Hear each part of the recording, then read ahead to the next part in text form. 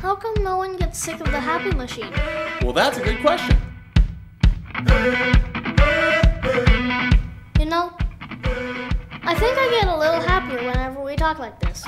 Timmy, that's not true happiness you're experiencing.